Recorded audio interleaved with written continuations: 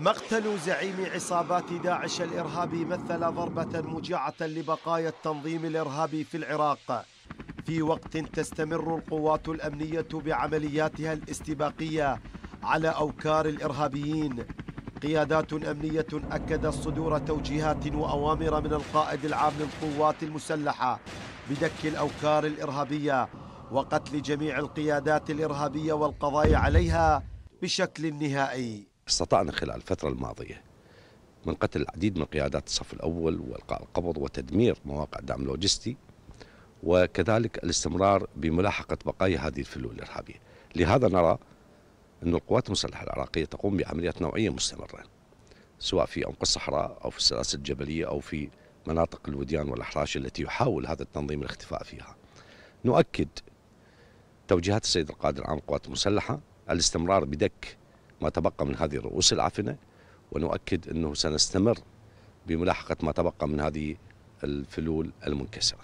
خبراء ومتخصصون في الشأن الأمني بيّنوا أن مقتل زعيم تنظيم داعش الإرهابي سيكون ذا مردود سلبي على عمل العصابات الإرهابية. مؤكدين قدرة القوات الأمنية ومن خلال الجهد الاستخباري على الإجهاز على بقايا الإرهاب المختبئة في الصحاري والوديان. والسلاسل الجبلية.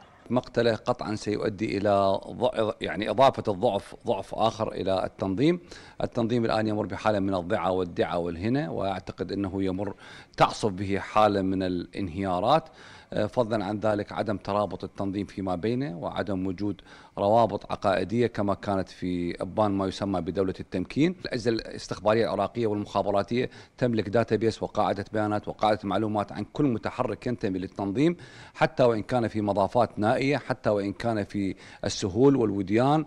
داعش الارهابي وبقاياه المهزومة يفقد الكثير من قياداته وآخرها زعيم التنظيم الإرهابي القيادات العسكرية والأمنية بوزارتي الدفاع والداخلية تؤكد استمرار الضربات النوعية على الأوكار الإرهابية من بغداد حسام التميمي العراقية الإخبارية.